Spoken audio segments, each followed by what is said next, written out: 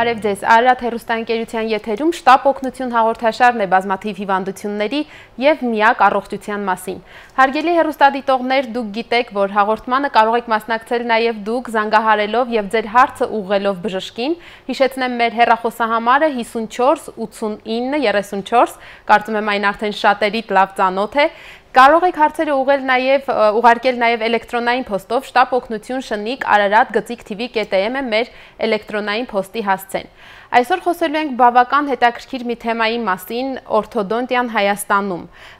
Ինչ է դա ընդհանրապես ստոմատոլոգիայի որ ճյուղն է կոչվում օրթոդոնտիա եւ ինչով է զբաղվում, ինչ միջոցներ կան ժամանակակից եւ որոնք են արդեն հասանելի դրանցից Հայաստանում կփորձենք ողրզել Հանրապետության գլխավոր մանկական ստոմատոլոգ, օրթոդոնտ, օրթոդոնտների ասոցիացիայի նախագահ, պարոն Տեր Պողոսյան Հրանտի հետ։ Բարև ձեզ բժիշկ։ Շատ շնորհակալ եմ, որ ժամանակ տրամադրեցիք եւ եկաք մեր հաղորդաշարին հյուր։ Ես գիտեմ, որ դուք այս օրերին շատ զբաղված եք, որովհետեւ 1-2 օրից մեկնարկում է հերթական ստոմատոլոգիական թեմայով մեծ միջազգային կոնֆերանսը։ Հատկապես ինչ թեմայի եք անդրադառնալու այս անգամ։ Նախ շատ շնորհակալ եմ հրավերքի համար, գեղեցիկ սրահում։ Իրոք մենք նախապատրաստել ենք եւ ամսի 1-ին օգոստոսի 1-ին կայանա այդ գիտաժողովը, որը նվիրված է ատամնահպման խնդիրներին, որը ոչ միայն օրտոդոնտիային կվերաբերվի, կվերաբերվի բոլոր մեր ստոմատոլոգիական ճյուղերին, հիմքում ընկած է այն փաստը, որ ատամների հպումը, այսինքն պրիկուս հասկացողությունը, որը մենք մեր հարգելի բնակիչները գիտեն, ինքը որոշ դեպքերում լինում է ոչ լիարժեք եւ կարող է պատճառ հանդիսանալ մի շարք խնդիրների, Խոսքը կծվածքի մասին է։ Խոսքը, այո, շատ ճիշտ է ատամնա եւ վերևի եւ վերևի եւ ներքևի ատամները ոնց պիտի կպնեն, որ դիրքում, որ հերթականությամբ եւ շատ հաճախ մեր ստորին ծնոտի դիրքը փոփոխվում է տարիների ընթացքում, թե զարգացման, թե ատամների մաշվածության, թե արհեստական ատամների շնորհիվ եւ կարիք կա նա վերականգնելու, շտկելու ստորին ծնոտի ավելի բարենպաստ դիրքը եւ այդ վիճակում կատարել օրինակ ատամնապրոթեզավորում, կատամնամտանների շտկում եւ այլն հասկանալի է։ Ես գիտեմ, պարոն Պողոսյան, որ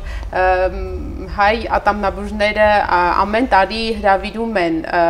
մեծ կոնֆերանսներ, դա բարբերական բնույթ է նաև կրում ձեր կոնֆերանսը եւ հայտնի բան է, որ հայ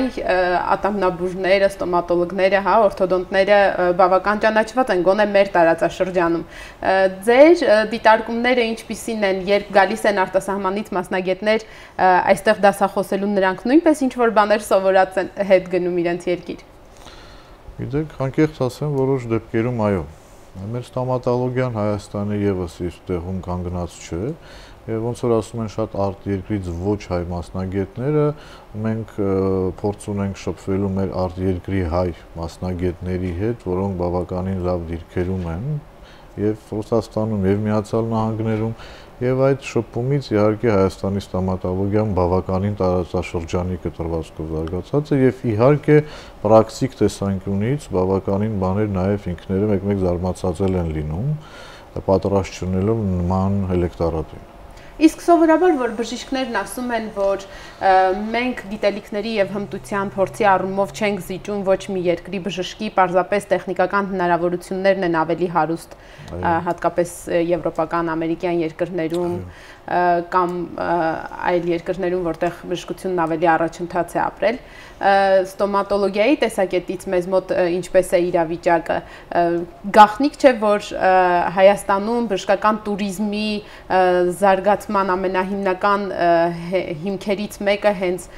ստոմատոլոգիական туриզմն է, որովհետև գոնե մեր հայրենակիցները դրսից շատ են գալիս այստեղ իրենց ատամների հարցերը լուծելու համար։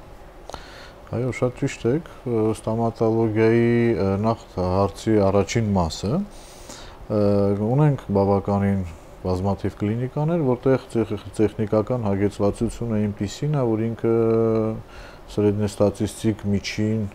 արտասահմանյան կլինիկային համապատասխան է եւ ստոմատոլոգիայում իհարկե կիրառվում են բարձ տեխնոլոգիաներ, բայց նրանք այդքան շատ լայն չեն, ինչպեսին ասենք թե այլ բժշկագիտության մասնագիտություններում եւ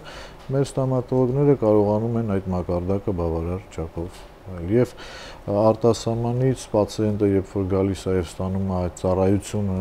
Հայաստանում նա գրեթե ոչ մի բանով չի զիջում որակի եւ արդյունքի ինչ ինքը կստանար իր երկրում։ Պարզապես մեր մոտ ավելի մատչելի է այդ ամենը։ Հասկանալի է։ Դուք ղեկավարում եք նաև ամբիոնը բժշկական համալսարանի մանկական ստոմատոլոգիայի եւ օրթոդոնտիայի ամբիոնը։ Իսկ գիտական տեսակետից ինչ վիճակում են մեր ստոմատոլոգները։ Շատ աշխատանքներ են կատարվում, շատ նորարարություններ ունենք մենք հայ հեղինակների կողմից կարող եմ կարող եմ ասել, որ իրականում այդ աշխատանքները կան։ Իհարկե չեմ ասի, որ 100%-ը բավականին շատ խորը ուսումնասիրություն են, բայց ունենք բազմաթիվ աշխատանքներ, որոնց հիմքում ընկած են հետաքրքիր նորարարություններ եւ այդ անձինք པարս ճակատով, սովորական լեզվով ասած, կարող են եւ կարողանում են դա նաեւ ներկայացնել արտերկրά տարբեր հավաքներին շատ հարցը հետարքիր եւ տեղին էր, քանի որ ես նաեւ ինքս ընդհանուր ստոմատոլոգիական ֆակուլտետի այդ գիտական ուղղվածությամբ եմ նաեւ զբաղվում եւ այդ աշխատանքները միշտ տեսնում եմ եւ դա ինձ շատ հետարքիր է եւ կարող եմ ասել, որ իհարկե կան աշխատանքներ, որոնք բավականին հետարքիր են եւ կարծում եմ ունեն ապագա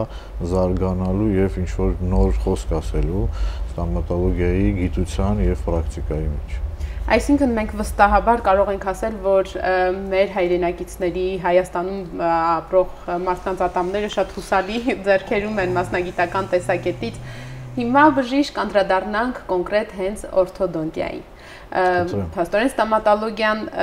բազմաթիվ ճյուղեր ունի եւ դրանցից մեկը օրթոդոնտիան է։ Ես կարդացի հաղորդմանը նախապատրաստվելուց, որ դա հունարենից թարգմանած բառը նշանակում է հավասար ատամներ Այո, հավասար ուղիղ ատամներ, այո։ Այսինքն օրթոդոնտիան հենց այն բաժինն է ստոմատոլոգիայի, որը զբաղվում է ատամները հավասարեցնելու հարցերով։ Այո, ոչ միայն, իհարկե եւ ատամները, եւ ծնոտները, եւ օրթոդոնտիայի խնդիրներից է ոչ միայն ուղիղ, ճիշտ, գեղեցիկ ատամներ, այլ նաև հնարավորինս վերականգնել շնչառական, ծամողական ֆունկցիաները, խոսակցական ֆունկցիան, որը դեռ ուղիղ ատամները չի նշանակում, որ նրանք ճիշտ կաշխատեն, այս կարևոր ֆունկցիաները եւս մտնում են օրթոդոնտիայի այդ խնդիրների մեջ, որ մենք աշխատում ենք իրականացնել հասկանալի, այսինքն հնացել է այն տեսակետը, որ ստոմատոլոգները միայն գեղեցիկ ժպիտ ապարգևելու համար են այս հնարավոր են իրավիճակներ, երբ սխալ կծվածքի կամ ծնոտների սխալ դասավորության հետևանքով, ատամների սխալ դասավորության հետևանքով այլ օրգան համակարգեր նույնպես դուժեն այդ կապը։ Իհարկե, այդ կապը, այդ կապը կա, ապացուցված է եւ կայանալիք ամսի 1-ին, որ տիկայանանա այդ գիտաժողովին, եւս նոր շատ հետաքրիր փաստեր կբերվեն այն բանի մասին, որ կան նաև նոր խնդիրներ, որոնք կարող են զարգանալ ոչ ճիշտ ատամնաշարից, որի մասին այսօր տեղյակ չէինք եւ հաշվի չէինք առնում մեր պրակտիկայի մեջ հասկանալի է հուսամ կստեղծվի հնարավորություն առիթ եւ հյուրերից մեկին նույնպես կկարողանանք տաղավար հրավիրել ձեր կոնֆերանսի հյուրերից ավելի մանրամասն այդ թեմայի մասին խոսելու համար։ Հուսամ, դա բավականին հետաքրքիր եւ նոր ուղղություն ինչի մասին խոսանք հասկանալի է։ Հիմա հենց օրթոդոնտիան, երբ Հայաստանում ասում են օրթոդոնտիա, առաջին հերթին հասկանում են բրեկետներ, բրեկետները, նկատի են ունենում մարդիկ դա։ Խնդրում եմ դուք բերել եք այստեղ բազմաթիվ տեսնում եմ ես չգիտեմ կոնկրետ անունները բրեկետներ նախ ասեք դա ինչ է ով է առաջին անգամ ստեղծել հետաքրքիր է նաև թե որ երկրից է գալիս այս հնարամտությունը որը փաստորեն շատ մարդկանց համար է փոխել կյանքի որակը։ Բրեկետները դրանք սարքեր են, որոնց միջոցով կատարվում է այդ ատամնաշարի շտկումները, որի մասին խոսեցինք, իրանք տարբեր տեսակների են լինում, հիմնականում տարբերվում են էսթետիկ տեսանկյունից, այսինքն կարող են լինել մետաղի գույնի, սպիտակ, ճենապակուց, տարբեր սպիտակ ակրիլներից, այսինքն պլաստմասաներից։ Ինչ վերաբերվում է թե որտեղից են այս ծարկերը ստեղծվել, ով է ստեղծել, քանի որ օրտոդոնտիան մի քիչ մասնագիտություն է, որ մարդը դիմում է այլ խնդիրներ չունենալուց հետո, հա, ինքը մի քիչ ավելի հարուստ երկրներից է սկսում գալ եւ զարգանալ եւ զարգացումը հիմնականում այնտեղ է ավելի շատ գնում։ Իհարկե խոսքը գնում է, եթե վերցնենք նախորդ հարյուրամյակի սկիզբը, դա իհարկե Գերմանիան է եղել, որից հետո դա տեղափոխվել է Միացյալ Նահանգներ։ Այսօր ռուսերեն ասեմ, законодателями մոտ Միացյալ Նահանգներն են հիմնական օրտոդոնտիայում եւ հիմնական զարգացումները իհարկե այնտեղից են տարածվում ամբողջ աշխարհում։ Այսինքն բրեկետները այն հիմնական միջոցներն են, որի օգնությամբ, որոնց օգնությամբ ուղղվում են ծրված ատամնաշարերը, այո։ Այո։ Կան նաև մի շարք այլ տեսակի սարքեր, կոչվում են շարժական սարքեր, որոնք պացիենտը պիտի հանի, դնի, գիգիենան կարողանա ապահովի, դա ավելի շատ փոքրիկներին ենք կիրառում, հա Իսկ բրեկետները դրանք սարքեր են, որոնք ֆիքսված են, այսինքն ինքը պացիենտը դա բերանից չի կարող անել եւ նրանք լինելով բերանի մեջ տարի, տարի ու կես որոշ դեպքերում 2 տարի կատարում են այդ շտկման process-ը մեխանիկական ուժեր կիրառելով ատամների վրա։ Շատ թույլ ուժեր, այսինքն ատամները նրանց ազդեցությամբ տեղաշարժվում են նման ինչպես կատարվում է ցկտման process-ը։ Այդ մոտավոր արագությամբ։ Այդ արագությամբ։ Այո։ Այսինքն մեծ համբերություն է պետք։ Այո, այո, համբերություն, բայց գիտեք, 1-2 շաբաթ հետո տվյալ անձ ընդհանրապես չի հիշում եւ նրան չի անհանգստացնում, ընդունում է որպես այդպեսին։ Հիմնականում խնդիրը հիգիենայի հետ է կախված լինում, որը շատ կարեւոր է պատշաճ կատարել հասկանալի է։ Մինչև հիգիենային եւ ավելի մանրամասն դասակարգմանը խնդրում եմ բժիշկ ասեք, թե ինչու են առաջանում այդ ծռումները ծուռ ատամները կամ ծնոտների անհամապատասխանելիությունը, հա, միմյանց որովհետև ես օրինակ նկատում եմ, որ մեր սերնդում, չնայած ես այդքան հին, շատ հին սերնդից չեմ, բայց ավելի քիչ են նման դեպքերը, քան իմ երեխայի սերնդակիցների մոտ։ Երեխաների մոտ հիմա ավելի շատ են այդ խնդիրները, դա ինչով է բացատրվում։ Շատ ճիշտ, ճիշտ նկատառում արեցիք։ Նաև մեր հետազոտությունները ցույց են տալիս, որ համեմատ նախորդ տարիներին իհարկե այդ տարածվածությունը ավելանում է։ Հիմքում ընկած են մի շարք խնդիրներ, դա բավականին երկար դասախոսության մի թեմա է, եթե երկու բառով փորձենք անդրադառնալ, խնդիր համար առաջինը, եթե ատամները հիմնականում թեք են, խնդրեմը գալիս է նրանից, որ ծնոտների չափերը եւ ատամների չափսերը իրար չեն համապատասխանում եւ ատամները չեն կարողանում դասավորվել եւ թեքվում են, որpիսի ինչ որ կերպ կարողանան դիրք գրավեն ծնոտի վրա։ Իսկ ծնոտների փոքր լինելու հիմքում դա ֆունկցիոնալ խնդիրներ են։ Ֆունկցիոնալ խնդիրներով ասելով մենք հասկանում ենք հետեւյալը, որ օրինակ մենք ի համեմատ մեր նախնիներին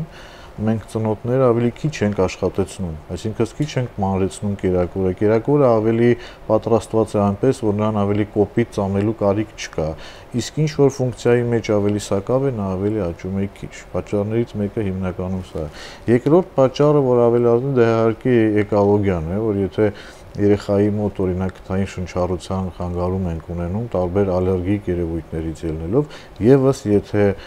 օթի ծավալը, որը քթի խորոչով է անցնում, սկսում է իհարկե ավելի լինել քիչ, վերում է վերին ծնոտի փոքրացմանը թերաճին, որի արդյունքում նաև ատամները սկսում են լինել տեք։ Այսինքն սա այն երկու հիմնական խնդիրներն են, որոնք բերել են այս ավելացման այնացածը, որը կար դա գենետիկաներ, ժառանգական, այսինքն գործոնները, դրանք իհարկե ոնց կային, այդպես էլ կային։ Եվ երրորդ խնդիրը, որ մեր բնակիչները իհարկե մի փոքր կատնատամների վերաբերյալ ունեն այլ մոտեցում, մտածելով, որ կատնատամը դա այն ատամն է, որ կարելի է հեռացնել, պետք չի բուժել եւ տեղը կգա մեկը մշտականը բայց իհարկե իրականում այդպես չի։ Ինչու են մարդիկ գնում կատնատամները շուտ հանելու եւ մինչեւ որ տարիքն է ճիշտ, որ դրանք մնան իրենց տեղում, հենց այն տարիքը, որ ինքնուրույն պետք է դուրս գան։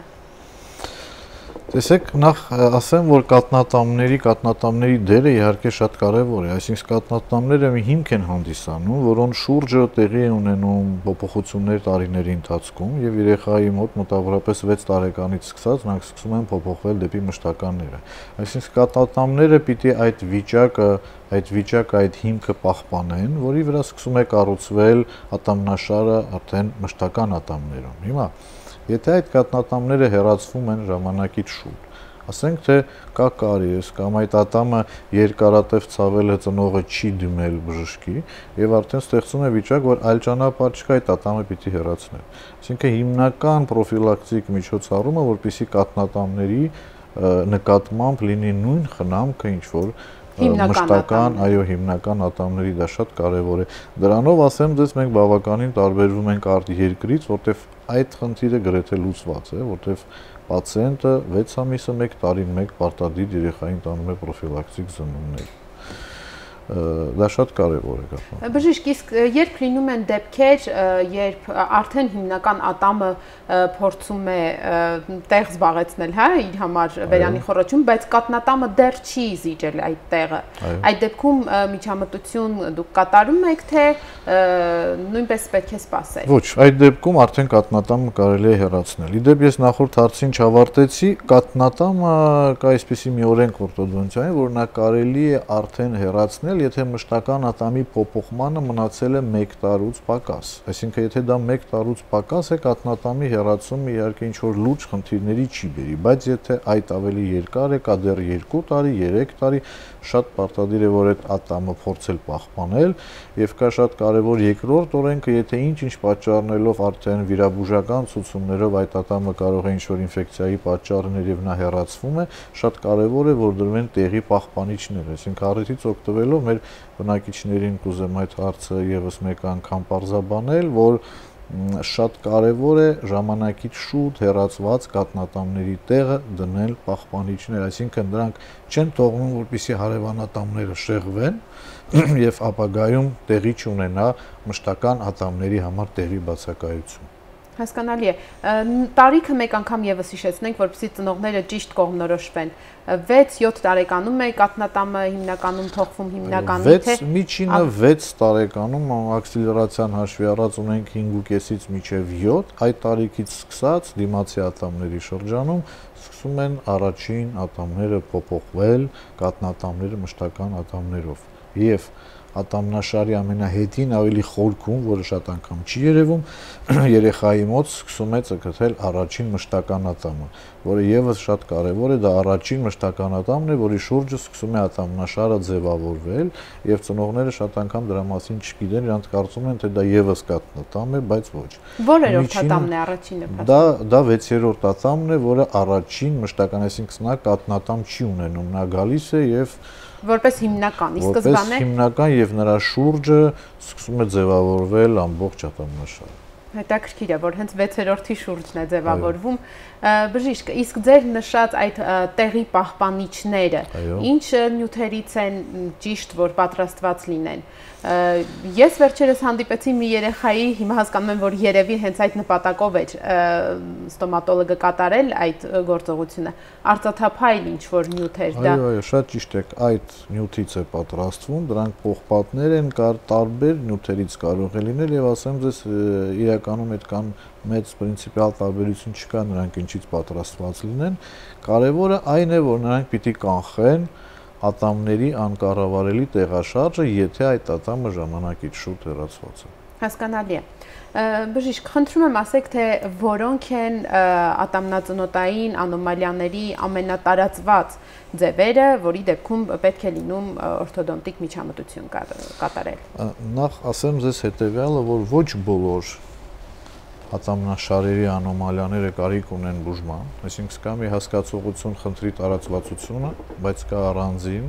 որ կա ինչ-ինչ կարիքը բուժման, նրանց մեջ հավասարության նշան չենք դնում։ Եւ եթե ատամնաշարի խախտում անձը չունի, դա հիմնականում են գրանցում ենք ծամող ատամների շրջանում, բայց նա ունի դիմացի ատամների շրջանում ինչ որ էսթետիկ փոքրինչ շեղումներ,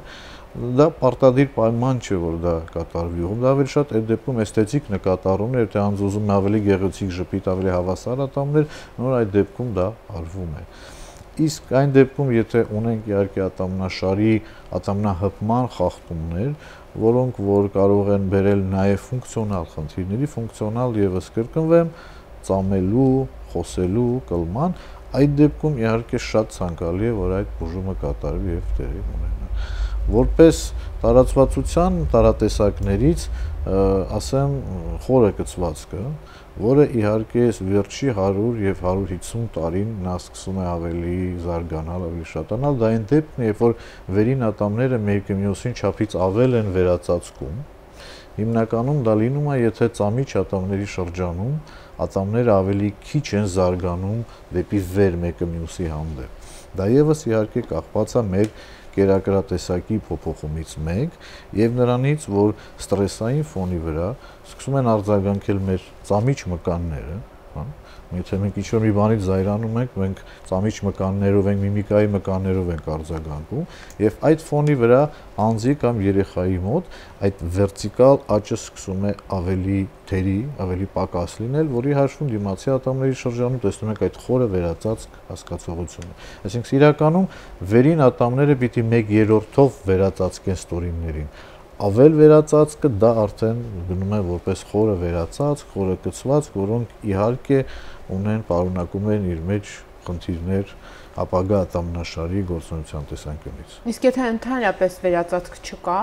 դա նույնպես խնդիր է։ Իհարկե դա եւս հաշվում է պաթոլոգիա, դա արդեն խոսում ենք բաց կծվածքի մասին, որի դեպքում դիմացի ատամները իրար չեն կպնում, այսինքն պացիենտը չի կարողանում կծել եւ մի շարք ատամներ իրականում չեն աշխատում։ Դա հիմնականում ասեմ ձեզ լինում է լեզվի հետ կախված խնդիրների հետ, բայց դա պարտադիր է դրա շտկումը։ Հասկանալի է։ Որպեսզի կծելու ֆունկցիան վերականգնվի։ Հասկանալի է։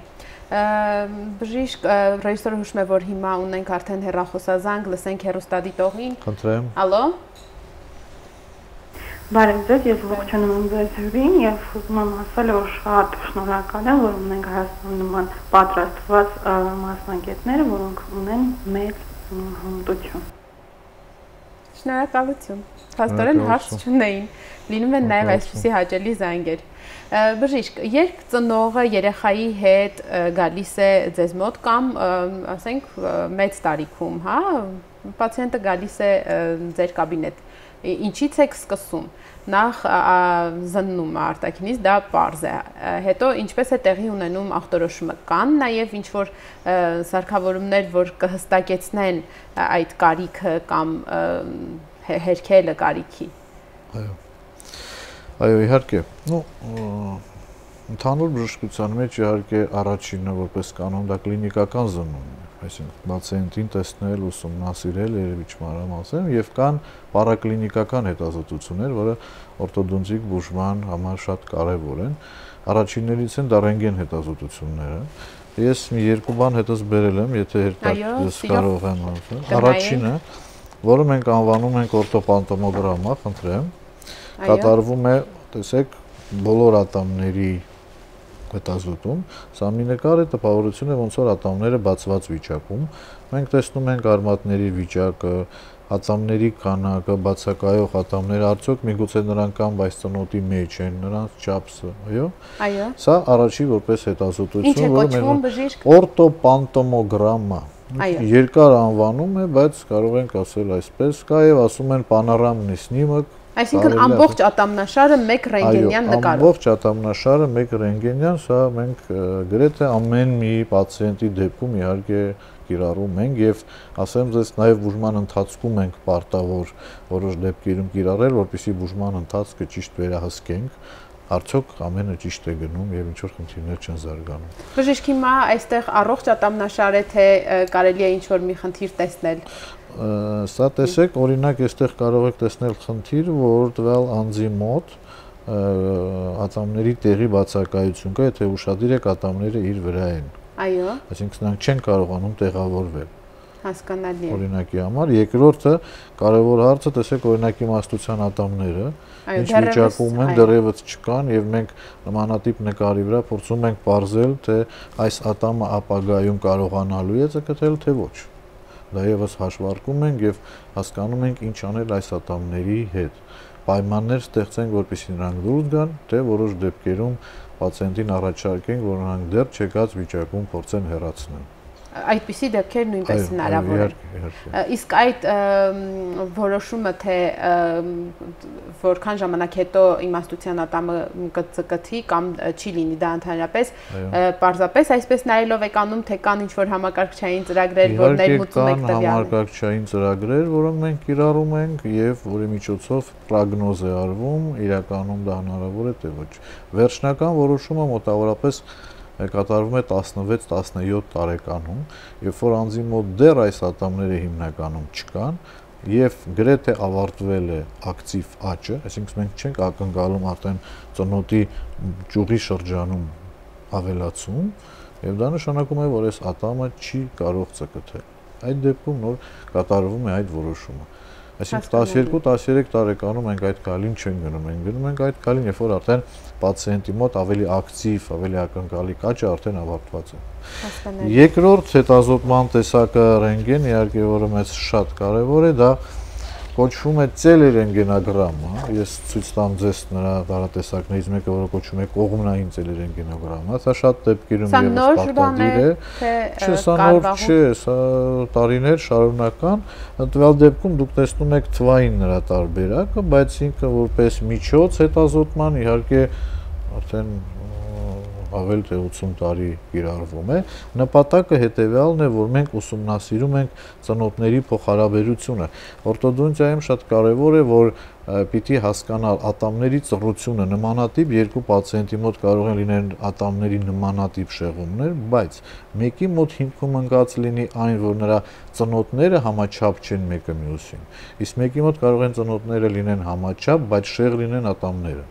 Տեսեք, երկու նմանատիպ վիճակ, բայց հիմքում ընկած են այլ խնդիրներ եւ բուժման, բուժման ստրատեգիան այլ է։ Այս ռենտգենի միջոցով մենք հիմնականը ողջում ենք այդ վիճակը, թե ինչպիսին է ծնոտների փոխհարաբերությունը ատամների եւ շրթունքների շատ կարեւորը դիրքը ինչպիսին է, որտեղ առաջանցնելով ասեմ, որ օրտոդոնտիկ բուժման ժամանակ նաև շրթունքների դիրքն է փոփոխվում։ Մենք այդ ամենը փորձում ենք այստեղ պլանավորել, կիրառել, օգտագործել եւ տալ ճիշտ բուժման պլանավորում։ Հասկանալի է։ Բացի ռենտգեն հետազոտությունների իհարկե պարտադիր է կատարել ծնոտների մոդելների ստացումը, այսինքն մենք ստանում ենք գիպսե մոդելները, որոնց վրա եւս կատարում ենք հաշվարկները, թե ինչ վիճակում են ատամները, ինչքան են նրանք շեղ եւ կարեւոր հարցը ինչքան է արդյոք տեղ պահանջվում այդ ատամները ուղղելու համար եւ կան տարբեր եղանակներ։ Մի դեպքում մենք կատարում ենք ատամնաշարի զարգացում, սարքերի միջոցով մեծացնում ենք, մի դեպքում ատամներ են կերացնում նաև ցավոք, այսինքն եթե մենք տեսնում ենք, որ տվյալ ծնոտի չափերը չի համապատասխանում ատամների քանակին կամ հատուկ աղուսակներ, որոշում է կայացվում, որ ատամների քանակը պակասեցնել, որի հաշվին մնացած ատամները տալ լրիվ ուղիղ վիճակ։ Նույնիսկ եթե ատամը որևէ խնդիր չունի։ Այո, այո, այդ մասնագիտության մեջ ճավոք դա մեթոդ է, որը մենք շատ հաճախ ենք կիրառում, օրինակ, տեսեք, սա մի վիճակ, որ ատամների տեսեք ծռության աստիճանը, իհարկե արդեն բրեկետները տեղադրված են եւ տվյալ դեպքում օրինակ կատարել է ատամների հեռացում, որպեսզի մնացածը կարողանան լինեն ուղիղ։ Այսինքն դա իհարկե ցանկալի բան չէ, որ առողջ ատամները հեռացվեցին, բայց այլ տեսանկյունից այդ ատամները նրանց հեռացումը հնարավորություն է տալիս մնացած ատամներին ավելի ճիշտ շարունակել իրենց կյանքը։ Հասկանալի է։ Շատ անգամ դա կյանքում էլ է տեղի ունենում։ Հասկանալի է։ Մենք այսպիսի մի հարց հարց ենք ստացել էլեկտրոնային փոստով հեղինակը գրում է. «Խնդրում եմ ասեք, եթե պետք է բրեկետ տեղադրեմ, բայց դեռևս ունեմ ատամներ, որ պետք է պլոմբեմ»։ Հենց այդպես է կոչվում պլոմբել, հա։ Կարելի է ասել։ Նա այդպես է գրել։ Ասում է կարելի է բրեկետ տեղադրելուց հետո կատարել այդ գործողությունը, թե պետք է պլոմբի հետ կապված բոլոր գործերը վերջացնեմ, հետո բրեկետը տեղադրենք։ Իհարկե երկրորդ տարբերակը ավելի նախընտրելի է, մենք հիմնականում աշխատում ենք այդ սխեմայով եթե մենք պլանավորում ենք պացիենտին ռեկետներ տեղադրել եւ կատարել ատամնաշարի շտկում, պարտադիր պացիենտը պիտի կատարի հիգիենիկ միջոցառումներ, այսինքն դրանք ատամնակարեր են, ատամնամստվածքներ են վերածվում են, բոլոր ատամների կարիեսները պիտի պարտադիր բուժված եւ վերածված լինեն, որի պարագայում նոր մենք բրեկետները կիրառում ենք մենք պիտի իմանանք, որ մոտակա տարի ու կես, երկու տարի օրտոդոնտիկ բուժման ընթացքում, որպեսզի նոր կարիեսի հետ կախված խնդիր չունենան։ Դա շատ ցանկալի է։ Իհարկե որոշ դեպքերում լինում է, որ ինչ որ չհայտնաբերված կարող է խորոչներ, որ կարիքը լինել անել, բայց նոր սկսվող նոր սկսվող, բայց օրտոդոնտը պարտադի պարտավոր է, որ այդ ամենը ուղեգրել բժիշկ թերապևտի մոտ զբաղվում են այդ խնդրով, դա բոլորը վերացնել, այսինքն սանացիա կատարել, որից հետո նոր տեղադրել բրեկետ համակարգերը։ Բժիշկ ռեժիսորը հուշում է, որ ունենք հերախոսազանգ, լսենք հերոստադիտողին, ալո։ Բարև ձեզ։ Բարև ձեզ։ Տղաս 3 տարեկան է, իրեն արխիվի վերևի ատամները մաշվել են, կամած-կամած մաշվեցին, հավեցին։ Ես կուզեի իմանալ պատճառը։ Ինչու՞ է, որ այդպես մաշվել ու հավել են։ Գրեթե ատամ չկա, Շնորհակալություն։ Շնորհակալություն։ Շնորհակալություն հարցի համար։ Շատ տարածված հարց է։ Այո, գիտեք, այդ դապտիկ կլինիկայում զննել նոր կարող եմ այդ հարցին ես պատասխանել, պատճառները կարող են լինել մի քանիսը, նախ ատամների էմալի վիճակը, մեկ-մեկ հանդիպում է, որ էմալը լինում է թեր զարգացած եւ նա այդ ամրությունը չինի եւ սկսում է շուտ ասած ծնողի մաշվել լինում է կարիեսով ախտարված, որը կարող է նա բավականին շուտ վնասվել գնալ։ Ցանկացած դեպքում ընդունված տարբերակներից մեկն է այդ ատամների մակերեսները պիտի վերականգնվեն վերականգնվեն, որpիսի ատամների ծնոտների բարձրությունը չփոքրանա դրա հաշվին, բարձրությունը խոսքը գնում է այս օրինակ երկարության մասին, արեստական, որ մի քիչ առաջ դուք նշեցիք այդ արծաթագույն պսակներով, որպեսի մնաշտական ատամների զարգացումը գնա ճիշտ տոնով։ Իսկ տվյալ դեպքում պատճառը դա պիտի տեսնել, հետազոտվել նոր, դա ես միանշանակ չեմ կարող ասել, թե որն է պատճառը։ Հասկանալի է, լսենք հաջորդ հերոստատիտողին նույնպես, ալո։ Լսում ենք։ Բարև ձեզ։ Բարև ձեզ։ Ներեցեք, ես մի հարց եմ ուզում խղել ձեզ, եթե հնարավոր է, խնդրում եմ պատասխանեք այդ հարցին ես երկու երեխաներս ունեն ատամների խնդիրներ, ժանիքները չեն հանել։ Եթե հնարավոր է, կասեք, ասենք խնդիրը ինչու՞ է կայանում, որ ժանիքներ չունեն, 4 4 ատամ չունեն։ Շնորհակալություն։ Հարցը մի քիչ կարծում եմ պիտի ավելի կոնկրետացներ, տվյալ դեպքում ծնողը, ասեմ հետեւյալը, որ ժանիքները դրանք այն ատամներն են, որոնք մարդ վերջինն է փոխում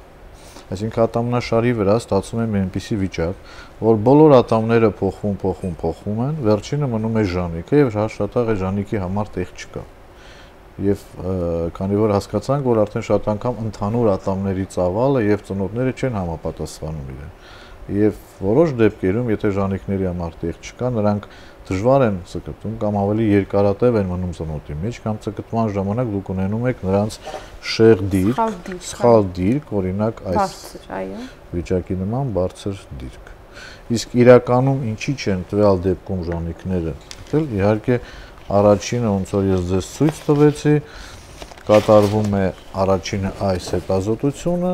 օրտոպանտոմոգրամա վերհիշենք, որի հիմա վրա մենք տեսնում ենք նրանք արդյոք կան, ինչ դիրքում են, ինչ վիճակում են եւ այլն։ Բժիշկ, իսկ երբ պացիենտը գալիս է եւ արդեն ախտորոշումից հետո առաջարկում եք նրան տեղադրել բրեկետ, նա կարող է տեսնել հետագա հետագայում ինչ կստացվի։ Կան նման հերակա Այո հետազոտության, ասեմ թե ախտորոշման, չգիտեմ, միջոցով։ Շատ շատ շատ հետաքրքիր հարց է։ Ասեմ ձեզ, որ դա բավականին բավականին հետաքրքիր ուղղություն է, որովհետև յուրաքանչյուր օրտոդոնտիկ դեպք ինքը կարող է ունենալ մի քանի լուծում։ Այսինքն օրտոդոնտը շատ հաճախ հնչով է այս մասնագիտությունը բարդ, որ յուրաքանչյուր դեպքում դու ունես մի քանի ուղի եւ դու հասկանաս թե որ ուղին ընտրես յուրաքանչյուր դեպքի համար եւ շատ կարեւոր է որ գիրառել նորագույն մեթոդներ, որոնք ես կհուշեն իրականում որ մեթոդն է ավելի ռեալ, ավելի իրականացնելի։ Օրինակ մենք օգտագործում ենք Dolphin ծրագիրը, դա ամերիկյան համալսարաններում կիրառվող ծրագիր է, որը հնարավորություն է տալիս վիրտուալ ռեժիմում կատարել մի քանի բուժման տեսակներ եւ տեսնել որն է ավելի ճիշտ տվյալ համակարգի համար ծնոտային, իսկ մյուս կարևորությունը նա, որ նա օրինակի համար ես դա վերել եմ, որ ձեզ ցույցադրեմ,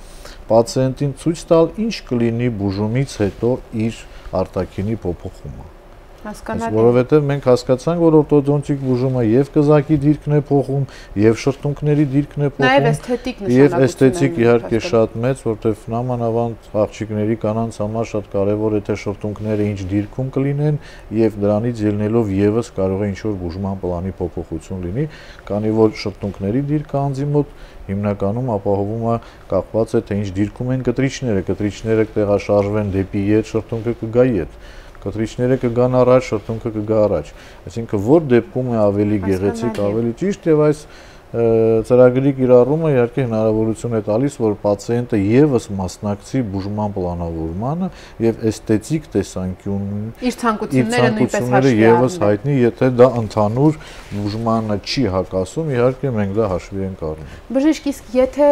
պացիենտը ցանկանում է, ասենք, թե այնպիսի բրեկետ տեղադրել, որը, ասենք, տեղադրել են իր ընկերոջը հետատամնային, հա,